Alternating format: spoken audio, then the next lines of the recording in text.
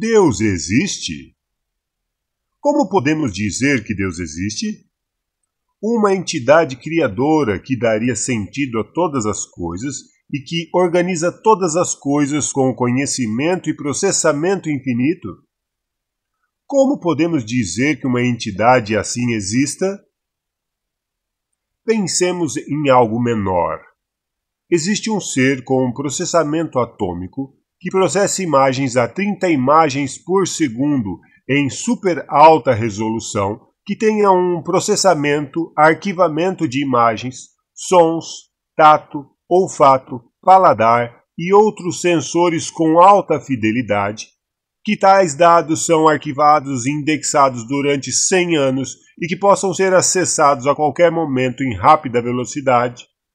Todo esse processamento pode estar em um pequeno bloco de 2 quilos, este ser pode ter saltos de imaginação que faça descobertas impossíveis para qualquer sistema de informática.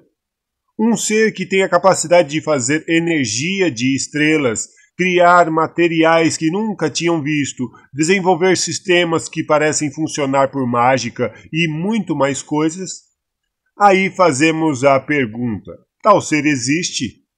Ora, esse ser existe, é o homem. Se o homem existe, bilhões de seres humanos com tanta capacidade, é tão impossível achar que exista uma entidade que seja Deus? Ora, é espantoso o universo, com galáxias, sóis, planetas e tantas coisas incríveis. E a beleza de um entardecer, o mistério de uma semente a germinar e dar frutos, ou o sorriso de uma criança, ou ainda o mistério do amor? Seria tão impossível existir um Deus para que tudo tenha sentido? O que muda na vida de alguém se Deus existe? Depende de que Deus você acha que existe.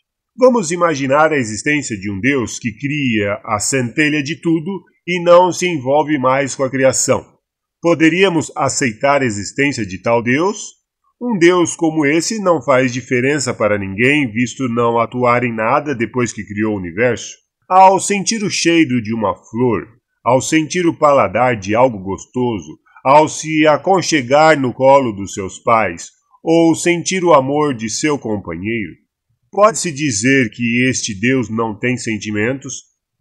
Se nos concede sentimentos, e se tem sentimentos, deixaria de atuar em sua criação? A beleza que existe no universo não determinaria a existência de um Deus assim. Vejamos como seria um Deus sádico, que gosta de brincar com sofrimento, que cria armadilhas em que todos os seres irão cair e sofrer. Um Deus coringa, que quer fazer enredos loucos e sempre com muito sofrimento no meio deles. Se tivéssemos um Deus assim, os carros não circulariam, os aviões não voariam, os médicos jamais conseguiriam salvar vidas, pois quando observamos as leis da mecânica, elas funcionam sem nenhuma falha. As leis do universo são perfeitas. Se tivesse um Deus sádico, não teríamos leis perfeitas. Quem sabe exista um Deus amoroso que deseja que os seres obedeçam às regras perfeitas das leis universais perfeitas por livre e espontânea vontade, e que, para que tal se possa escolher, ele deve conhecer um local sem Deus, e o local com as ordens perfeitas de Deus. Um mundo louco e um mundo perfeitamente organizado. Assim, cada ser pode escolher o que deseja, sabendo que um mundo sem Deus no final gere morte, como um carro a gasolina que é abastecido com água salgada.